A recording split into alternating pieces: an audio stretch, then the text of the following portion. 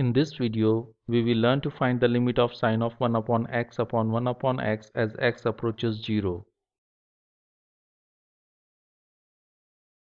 We know sine of 1 upon x varies from minus 1 to 1 that is the minimum value of sine of 1 upon x is minus 1 and maximum value of sine of 1 upon x is 1.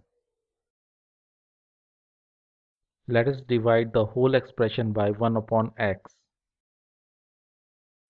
as 1 upon 1 upon x is equal to x. So minus x is less than or equal to sine of 1 upon x upon 1 upon x which is less than or equal to x.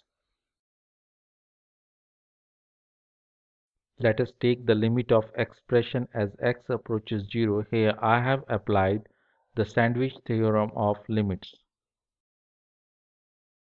We know x approaches 0 minus x and x approaches 0.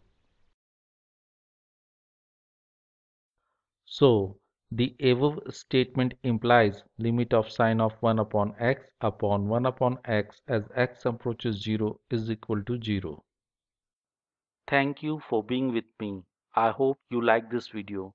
Please click the like button and subscribe button. Do not forget to press the notification bell so that you get the notifications of my new videos.